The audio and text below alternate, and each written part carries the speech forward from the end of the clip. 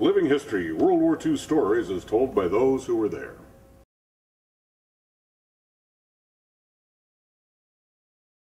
As the Japanese Empire crumbled in 1945, the rising sun gathered its forces for a last stand against an expected U.S. invasion at the island of Okinawa.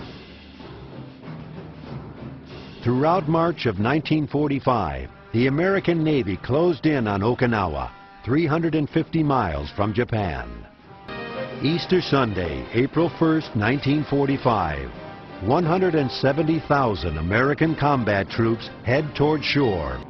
The Japanese decided to make their stand at two ends of the island, but the strongest defensive position was at the Shuri line to the south, where they could hide in caves and hills.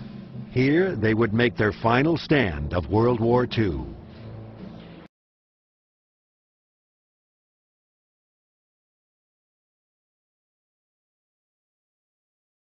They, we, we landed the first day of, uh, of April um, on uh, Easter, and um, we landed right after the first division had landed. They'd, they'd secured the first part of the island. Third day, I moved to the third rifle platoon, and that was the one that the company commander had had on Peleliu lucky on when we went across to the first division because there was just a few people hurt and there really wasn't a lot of resistance as they moved across the island. But then when they were waiting and the army got in trouble on the going south, well then they called them the first division in. You wonder when and then when it happens you're you're going in, you're green and you're wondering what you're going to do, but uh, uh, my company commander, when I met him, was very nice and uh, and he said, "I hope you've been through everything that they and understand what they taught you." And I said, "Well, I feel I do." And he said, "Well, that's all we can ask." Uh, Tommy Carr, who's going to be your platoon sergeant, I had, and I know him real well, and he'll help you, and I think you two will get along just fine. We'd really just started south, and then we went into the different draws, the Wana draw and all this and that, and into Shuri Castle and on south. Uh, a lot of it, tanks couldn't get through. Yeah. Yeah, and then you know it was we had that muddy session there where it really rained and rained and rained and the mud was yay deep and and a, a fellow by the name of Tobin got hit from St. Louis and when I ended up getting the third platoon. Curly knew that platoon and he thought so much of it that he trusted it. Curly, uh, he made us the point. Anytime we moved, from then on out, my platoon was the point. And the point is, you're out in front.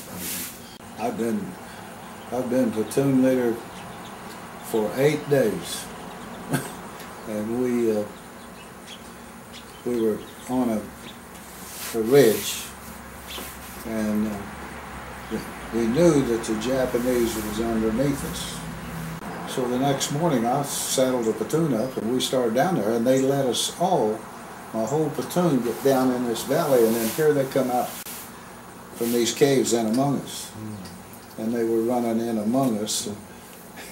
I I started to shoot one with a carbine and I pushed for the safety and I pushed the deal and the magazine fell out. I just threw that carbine away. It wasn't use to having it. but it wasn't funny at the time, but it is now. But we were, I uh, got 12 boys hurt, but I didn't get a one killed, and I got them all out we come into an area, Shuri Castle was 800 yards from Curly sent me, sent our my one day, we were back here by the railroad track, and he said, you go across and get up on the ridge. Well, we got about halfway out there on a little hill, and that's as far as we go. And uh, we got pinned down and we couldn't come back or we couldn't go. We were out there for three days. But we were the first ones up on the Shuri Castle area. We got settled and we worked in with the tank and with the tank commander and got ourselves all working together and took off up the side of the hill, but they let us get about halfway up and they stopped us. And we just couldn't, we didn't have enough firepower to get on to the top of it, so we come down and we still spent that night. And the next morning he sent Duncan and Duncan didn't get to the top of it. And he sent Peterson the next morning with the first platoon. And Peterson had a Thompson submachine gun and one of the shells hit his uh, stock and it sent splinters in his hand so he brought his platoon back.